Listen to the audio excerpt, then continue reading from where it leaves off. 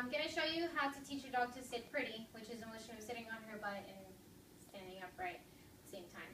Um, so first you want to put him on a sit, like she is doing right now. You want him to face you. Okay?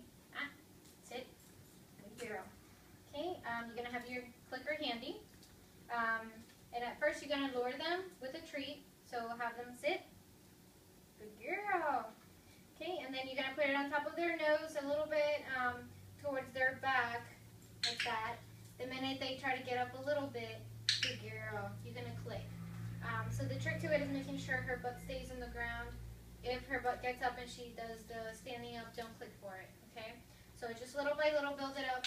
They don't naturally have those muscles to sit that way, so you just have to help her build it little by little, okay? So sit.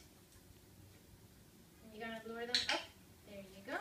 After you do this a couple times, you're going to see you're not going to need a treat. Okay?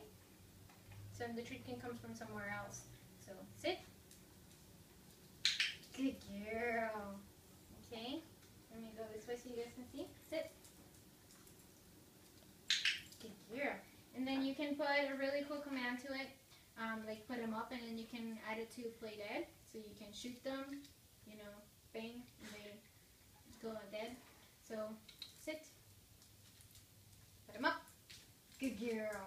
Okay, and then after that you just work on building up the time that they're sitting on there. Um, she's still working on that, so she doesn't stay sitting very long yet. But um, she'll try to hold it as much as possible. Sit. Good girl.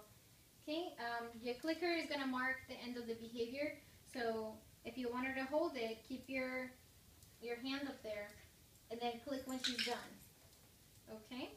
Um, it should be a really easy one to teach them. They're naturally wanting to jump, so it's an easy way to control it, um, and it's only on command, and it's a cute one. Okay.